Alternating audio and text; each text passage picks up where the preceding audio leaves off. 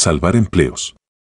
Durante periodos con altos niveles de desempleo, es especialmente probable que los políticos se encuentren bajo una fuerte presión para rescatar a ciertas industrias que están perdiendo dinero y puestos de trabajo mediante la reducción de las importaciones que compiten con ellas. Uno de los ejemplos más trágicos de estas restricciones ocurrió durante la Depresión Mundial de la década de 1930, cuando los aranceles y otras restricciones se incrementaron en todo el mundo. El resultado fue que en 1933 las exportaciones mundiales eran solo un tercio de lo que habían sido en 1929. Así como el libre mercado provee beneficios a todos los países de forma simultánea, de igual manera las restricciones al comercio disminuyen la eficiencia de todos los países de forma simultánea, reduciendo los niveles de vida sin producir el aumento en el empleo que se esperaba.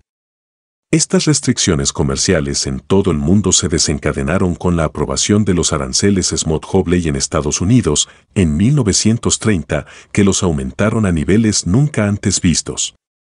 Otros países contestaron con fuertes restricciones a las importaciones de los productos estadounidenses. Además, las mismas presiones políticas que tuvieron lugar en Estados Unidos también se dieron en otros países, puesto que sonaba convincente para muchas personas que para proteger los puestos de trabajo en casa se debían reducir las importaciones desde países extranjeros. El efecto fue que, debido a los aranceles Smot-Hobley, muchos otros países, además de Estados Unidos, adoptaron fuertes restricciones al comercio. Las consecuencias económicas fueron muy diferentes a las pretendidas por los que aprobaron los aranceles, pero fueron precisamente lo que habían predicho más de mil economistas que firmaron una declaración pública en contra del aumento de los aranceles, dirigida al senador Smoot, el congresista Hawley y el presidente Herbert Ober. Entre otras cosas, dijeron. Estados Unidos ahora se enfrenta al problema del desempleo. Los que proponen aranceles más altos aseguran que un incremento en las tasas creará empleo para los parados. Esto no es cierto. No podemos aumentar el empleo restringiendo el comercio. Estos mil economistas, entre los cuales estaban muchos de los más prestigiosos profesores de economía de Harvard, Columbia y la Universidad de Chicago, predijeron correctamente que otros países impondrían, en represalia, aranceles sobre los productos estadounidenses. También predijeron que, la gran mayoría, de agricultores estadounidenses que se encontraban entre los mayores defensores de los aranceles, finalmente terminaría perdiendo, a medida que otros países restringiesen la importación de productos agrícolas estadounidenses.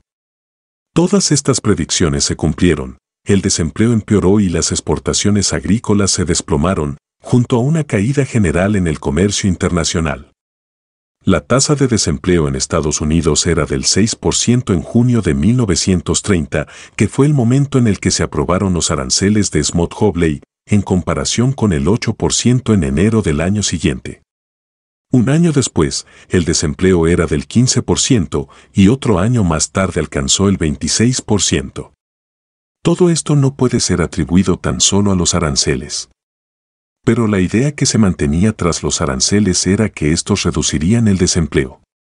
En un momento dado, un arancel de protección u otra restricción a las importaciones puede proporcionar un alivio inmediato a una industria en particular y así ganar el apoyo político y financiero de las corporaciones y sindicatos en esa industria.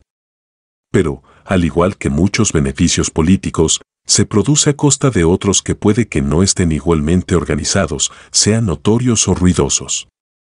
Cuando el número de empleos en la industria estadounidense cayó de 340.000 a 125.000 durante la década de 1980, esto tuvo un impacto devastador y fue una importante noticia económica y política.